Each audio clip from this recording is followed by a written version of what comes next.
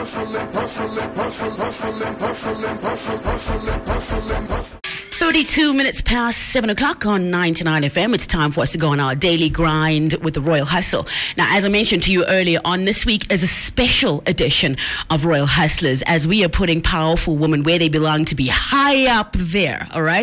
It's a celebration of the work that they have done, the work that they continue to do, and how it is that they have evolved and changed many lives on that journey. This morning, I'm joined by Christine Hugo. Many of them, or people know that um, she's been a driving force of 99 FM for over the last 10 to 15 years. Christine is first and foremost a storyteller. She is a passionate uh, a woman about stories, uh, Namibian stories, stories of the world, and she's passionate behind of the words behind the stories, the languages, the ideas, brands, strategies, the audience. Yes, you and I, the consumer tribe, market cultures, businesses, and industries.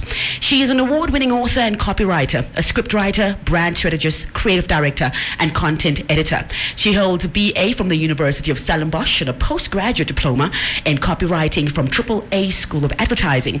Her career spans almost two decades of work, ranging from freelance writing, copywriting, journalism, project management, and content creation. I believe somewhere in there she'll always tell she'll also tell us about how she used to pluck chickens in the United Kingdom as a side hustle. But in 2018, Christine founded Once Upon a Mind, a small movement of ideas, programs, workshops, talks, and events dedicated to empower people with an understanding of their own significance and the potential of their brains and minds. And I must tell you that she has done just that for me. Christine, I'm so glad to have you here. What a, an honor to be here, Shay. Thank Uh, you. I think, um, I think I'm going to be the one tearing up this morning, but I'm going to hold the tears back. Let's begin with your story. Christine, tell us about your childhood. Uh, did you, what kind of childhood did you have and what kind of things did you get up to as a kid? Um, I had a very happy childhood. Uh, I had a wonderful mother who was innovative and interesting and colorful and uh, larger than life in her mind. Uh, at the time, it was it was somewhat disturbing for, for, for me. You know, she did not dress like the other mothers, and she did not speak like the other mothers, and she didn't do things like the other mothers. And now, when I got older, I realized what a gift that is to have a mother like that. I had a wonderful father. He's a doctor. He worked extremely hard, um, both him and my mother. And I think work ethic and all of that, you only really can learn by seeing someone doing it. So I had a happy childhood. Uh, I was a warrior. So I would worry a lot. I would worry about my parents. I would worry about my sisters and about myself. Um, so I was a bit anxious. I'm. I was a sensitive child, but I could also enjoy things tremendously. Which is the flip side of being sensitive is that you also really experience Yeah. uh, the magic of it. Absolutely. Tell us about the kind of dreams. What did you dream of? the biggest dreams when you were growing up? My biggest dream was I'm not talking about when I was very little, when everybody wants to be a teacher, uh, just because they dressed so nicely, and I loved those baskets that they had always with their books in. it I could see myself having one of those baskets. But no, when I was a bit older, I really thought that I would open an orphanage Wow. one day. I wanted, Wow. I wanted to open an orphanage and save all the children. Because you're also worried about the children. I, I'm worried Yes, about the children. yes. I still worry about the children. yes. Tell us about school, Christine. Were you a straight A student? What school did you go to? Did you always pull up the A's or did you have to work at it? Uh, I did very well in primary school. I went to school in, in, in Cape Town at first when uh, my dad was specializing. So I went to Tuisches Laerskool um, and I loved that. And then I went, when we came back to Windhoek, because we all, uh, my mom and dad both came from here, I went to Orban Primary School. And that was freedom. That was so much fun. And I loved Windhoek. I always loved Namibia and we all, we used to come back for holidays uh, all the time that we stayed in Cape Town. But then I went to Orban Primary School, and I, I still did f- f- well fairly easily. Um, and then I went to high school, Windhoek High School. Uh, and in the beginning I did, but then you know, it's life started to get interesting, and I met a lot of friends, and it became a, a lot of fun. So I was not a straight A student. I was an B student, um, and I had a real wonderful life and time and was involved in all the uh, cultural and artistic uh, elements that, that happened at school. Is that what drove you then to be creative more, to go and choose a career like copywriting or journalism? Is that what then drove Yeah, you? I, I always loved language. Yeah. My, my language classes, my, my Afrikaans. I, I actually remember my English and my Afrikaans teachers um, and the, the classes and the content as my favorite part of school. And I remember we had amazing teachers and uh, the poetry and the language, and I, I always had this absolute um, love for words and stories. So it was uh, it was a natural development from there on to go into into. Well, I first studied BA. Uh, I actually wanted to go study um, drama I can see being you being Yeah. being quite a, a a drama queen myself. You know, it kind of made sense to me. But then, the drama students had to live in the drama department, and they they could only almost you know they had a little subculture of their own. And I I actually had big bigger plans for varsity. I wanted to meet a lot more people Yeah, yeah. you know so i changed to a ba and it was wonderful it was also all about language i did languages i did classical culture and it shaped a lot of my thinking Yeah. I remember you telling us a story once about how it doesn't matter how much your parents had achieved for themselves in their lives, you had to start your own journey. And I believe you ended up telling us you plucked chickens in a factory somewhere in the UK.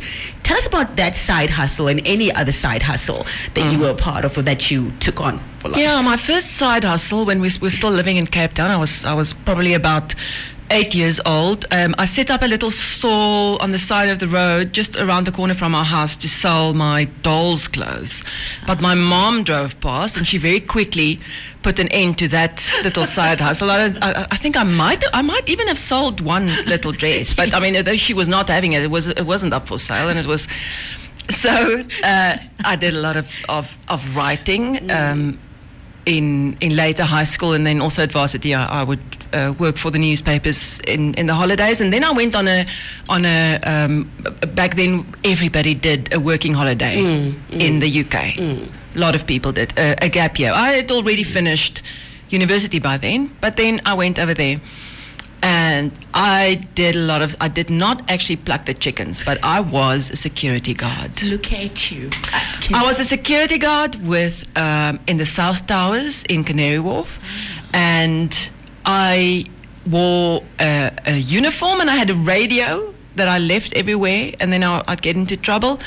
Um, and I would do night shifts down in the basement with the trucks coming in to, to, to deliver goods to the Slug and Lettuce, Le- Lettuce Bar, the, the pub and uh, worked with Moroccans and Indians and um, and it was interesting. It was a character building experience. I also did caring, where I looked after a very old lady and mm. lived with her and cared for her, mm. which is also humbling work mm. to do.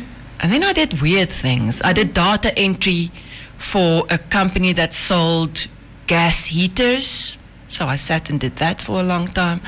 And I um, supervised exams that, that was written and then had to collect and sort out the. So I, I did whatever you had to do. You know, there you just, you, you need to pay the bills. You've got to. You you know, and you buy your your pass your your your tube pass, and you get on with it, and you pay your rent, and you get on with it, and it's it's a very very good training ground for life. as long as you're present and you're part of the process. Ugh, and being a writer, you know, eh, eh, it- it- no experience is is um, is not valuable because at some point the experience. I mean, uh, now I look with different eyes at, at, at, at security guards. I do. They're not pot plants. Yeah. I know what it feels like, to be a a, pot plant.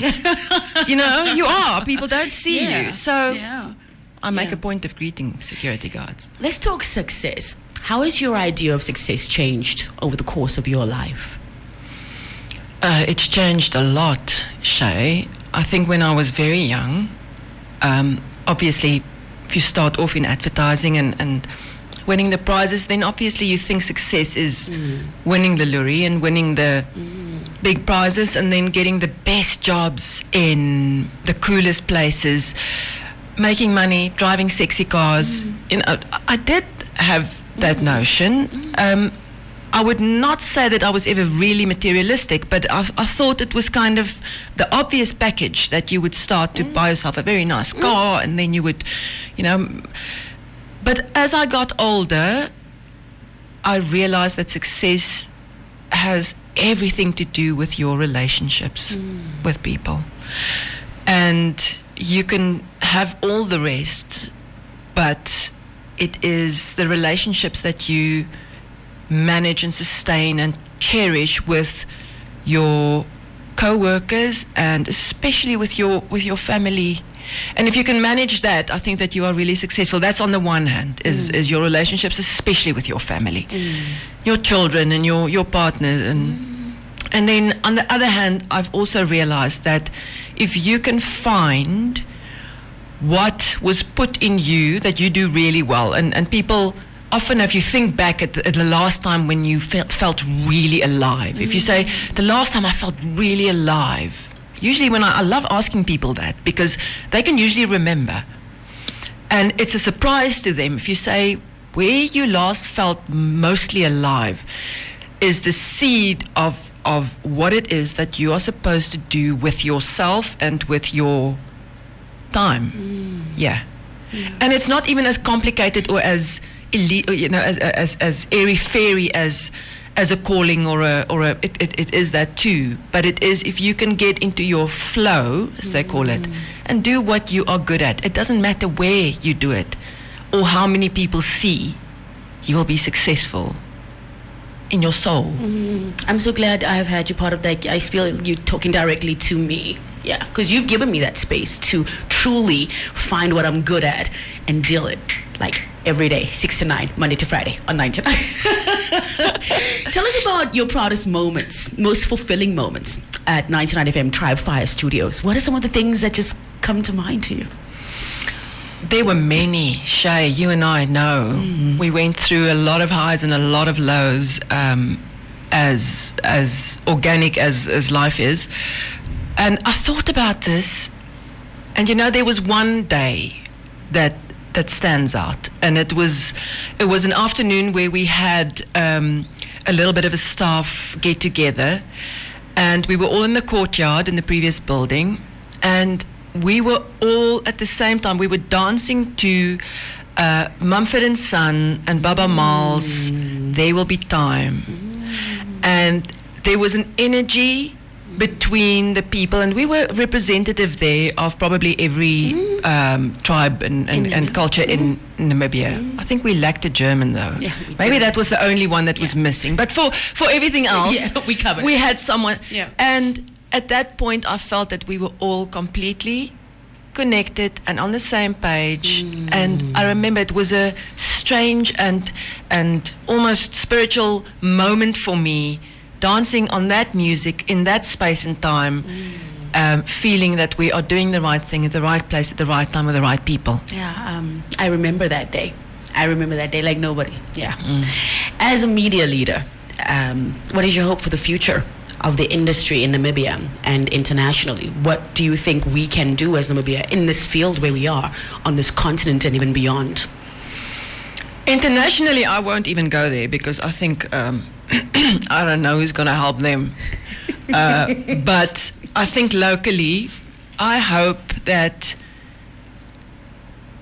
I think we sit we're sitting with an opportunity in Namibia where we still have a hell of a lot of people who need to be uplifted in in their minds, in their in their souls and in their spirits and in their brains and and there is no way that you can in a short time get the information and the and the tools and the knowledge to those people fast enough that they can within a day a year really change their mindset and become the masters of their own destiny, which is the 99 FM. I mean, the whole, what we've done here, it was always from the very beginning, it was to inspire Namibians to be the masters of their own destiny because I really believe that if you understand your own significance